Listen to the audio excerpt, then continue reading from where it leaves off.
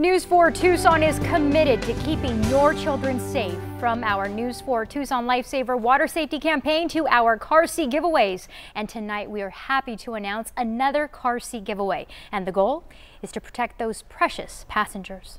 We want to make sure that we provide families the education along with the life-saving product, not just handing out car seats. Jessica Mitchell with our News 4 Tucson community partner Safe Kids Pima County says using a car seat or child booster seat the right way is critical, and it's all about education. Those car seats are meant to be used in a certain way, and if it's not, that we're putting that child at risk. It's why News 4 Tucson has teamed up with Safe Kids, Tucson Medical Center, and Tucson Police to give away nearly 3,000 seats over the past seven years. It makes me know that I have the potential of saving these kids' lives. For Tucson mom Amber Bermudez, a serious crash in 2016 was all the proof she needed. We just hit and I, it like all went slow motion from there. It terrified me. In my case, it saved my son's life.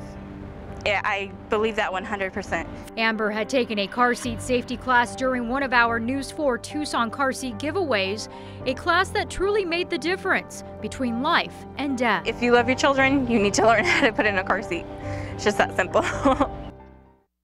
And it is very easy to take part in our News 4 Tucson car seat giveaway. Just download the News 4 Tucson app and sign up for a car seat safety class. It is happening the morning of Saturday, February 2nd at the Tucson Police West Side Service Center at Miracle Mile and Flowing Wells. For more information, head over to our News 4 Tucson app.